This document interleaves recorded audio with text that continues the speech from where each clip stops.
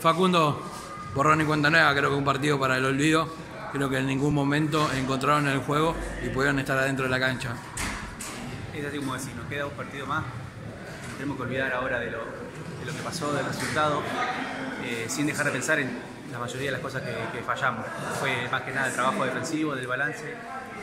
De nada, pensar en corregirlo, en mejorarlo y ir a afrontar el tercer partido de la mejor manera.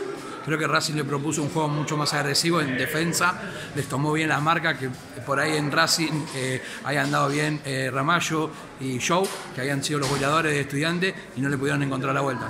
Ya, ya sabíamos que iba a ser así, sabíamos que iban a venir a venir a buscar el partido, que no iban a venir a presionar, a desgastar, este, a hacer un juego físico y bueno, lo hicieron bien, lo hicieron muy bien, plantearon muy bien el partido y, y se lo llevaron.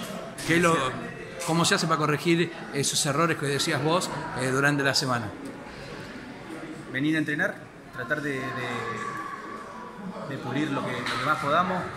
Y creo que fueron errores colectivos que, que, como el balance defensivo, como el rebote ofensivo, eh, que, que, después de la pérdida tenemos que bajar y que después del gol tenemos que bajar.